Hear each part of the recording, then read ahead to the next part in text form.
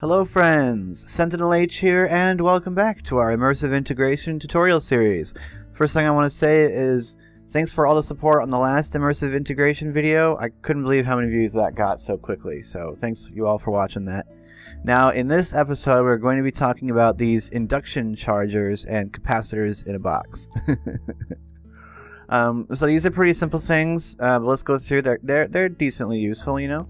And uh, we're getting towards the end of immersive integration. There really isn't a whole lot in it. It's just uh, useful knickknacks and, and, bits and bobs. In fact, we've probably only got one of these left before it's uh, before it's done. So, uh, induction chargers. Uh, they look like that. You can only place them like that. You can't put them on the wall or upside down or anything. They just go there. And uh, the way that they work is um, is you just step on them or throw things on them and, and they charge up. And we'll demonstrate that uh, in a minute. In order to craft these, you simply need a two treated wood planks, two treated wood slabs, and then the L, the capacitor and coil uh, for the one that you're trying to make. Here I have the LV capacitor and the copper wire coil that makes the induction charger. However, if I was to go in and grab an electrum coil and a uh, medium voltage uh, capacitor and slot them in here, we get the MV1. The same for the HV1, just use the uh, the bigger coil and the bigger capacitor. And that's what that that holds true for the capacitors in boxes as well, which basically act as handheld batteries. Um, all you need to do is place the wooden storage crate and then an, a capacitor of your choice in order to get that capacitor in a box. So over here, I've set up the um, the induction chargers.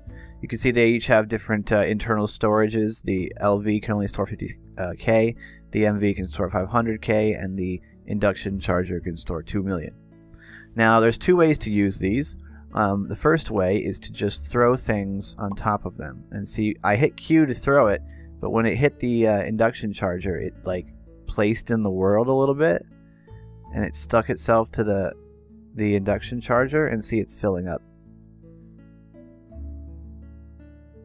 Now you may be wondering how these are getting power. Uh, well, they're getting power through these um, creative capacitors. The only way that you can put power into these induction chargers is to put a capacitor underneath them. You cannot attach um, the connectors, power connectors to these. It doesn't work. Then just right click on the thing to take your item back. There we go capacitor in a box. The other way of doing it is just stand on it. So if you stand on it, it'll start charging the, the thing in, in question.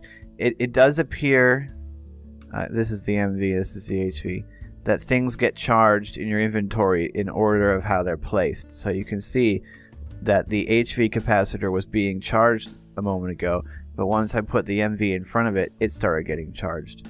So if that's important to you, um, if you want items in your inventory to be charged at a certain, you know, this one first, then then that one, make sure that you place them in your inventory in order, because that's what these will do when you step on it. But you can always just chuck them on top, and uh, and they'll. Oh, I missed. And they'll just charge like that.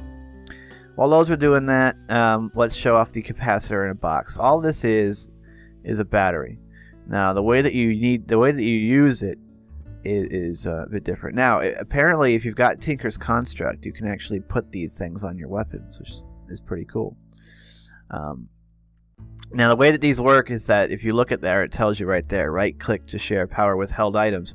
So these are used to power things that you're holding in your inventory, kind of like the mana tablet for Botania powers the mana items.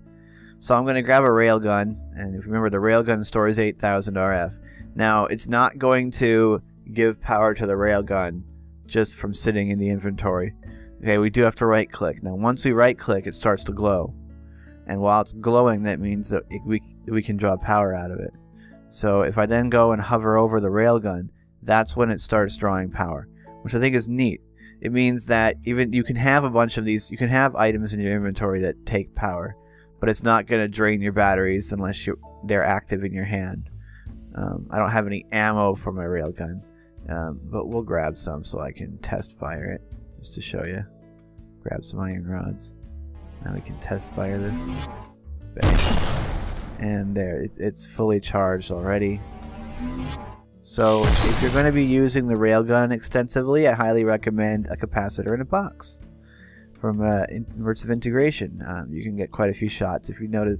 You know, you're not going to get a ton of shots out of the LV one, but if you've got the resources to, to carry around an, HV one, uh, you could certainly use the railgun for a very long time.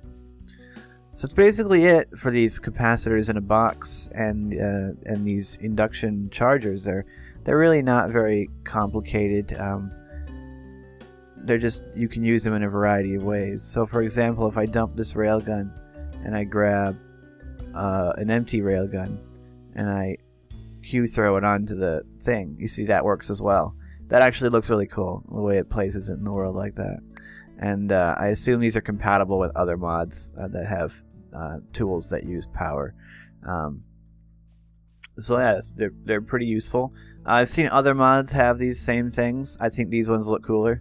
They definitely look the part. I think they match really well with immersive engineering. So very cool, very cool. So anyway, that's basically it for this. Um, stay tuned for the next episode, which is going to be the last one, where we'll go over the other couple of things that are in the mod, uh, the immersive integration. So um, what I need to know from you guys, let me know if after that's over, uh, you want a couple videos on like how to set up production lines, because uh, I'd, I'd, be that'd be pretty fun to put those together, like showing connecting the um, machines together into uh, full-scale production lines. So if you want to see something like that, um, let me know. You got a couple weeks to, to decide. So uh, anyway, and after this is over, we'll go back in and we'll start to look through Reactor Craft and Rotary Craft for things that have really changed. So let me know in the comments if, uh, if you're using those mods, if, if you if you have uh, seen those things firsthand and experienced things that don't work uh, in my tutorials anymore. Let me know um, so that I don't have to scrounge through all those videos because that will make the, the series take more time. Anyway, um, I appreciate you guys. Thank you for watching. I'm Sentinal H, and I'm signing out.